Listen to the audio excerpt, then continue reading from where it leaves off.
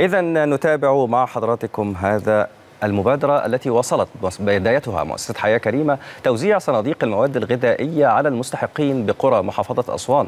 ويأتي ذلك في إطار الدور الكبير الذي تقوم به المؤسسة لرعاية الأسر الأولى بالرعاية تنفيذا لتوجيهات الرئيس عبد الفتاح السيسي.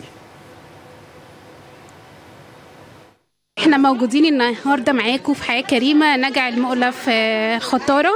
الحقيقة إحنا موجودين ضمن مبادرة توزيع كراتين الحماية الاجتماعية لأهالينا المستحقين. زي ما أنتم شايفين إحنا موجودين دايما وسط أهالينا.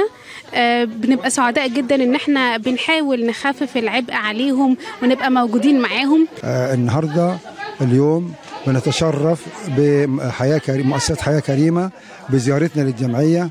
وتقديم مواد غذائية للأسر المحتاجة بالقرية. النهارده جايين نوزع كرات... مئات الكراتين لأهالينا المستحقين بقرية المجلة باسوان وإن شاء الله مش أول مرة. لا إحنا كنا بنوزع على مدار السنين اللي فاتت وإن شاء الله هنوزع على مدار السنين الجاية.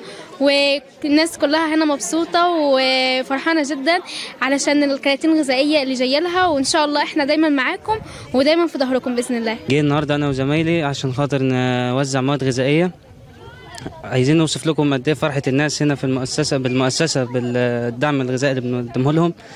والناس مبسوطة جدا بينا ورحبوا بينا أحسن ترحيب.